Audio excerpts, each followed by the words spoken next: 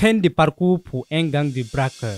Grâce à la collaboration de la population avec les forces de l'ordre, les services régionaux de la police judiciaire du centre a pu mettre la main sur un présumé réseau de braqueurs. Ce réseau de malfaiteurs qui sévit dans la ville de Ouagadougou a été appréhendé et placé en garde à vue. La police nationale du Burkina exhorte la population à plus de vigilance et à toujours poursuivre la dynamique de la dénonciation.